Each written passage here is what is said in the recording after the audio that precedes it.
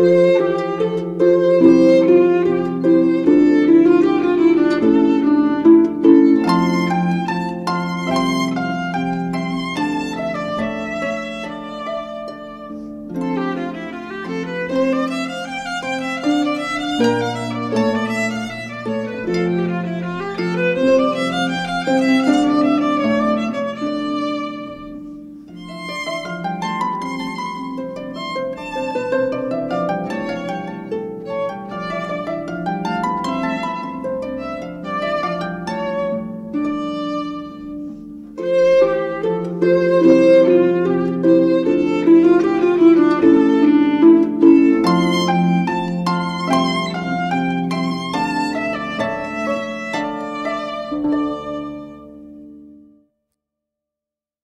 Would you like another change of pace?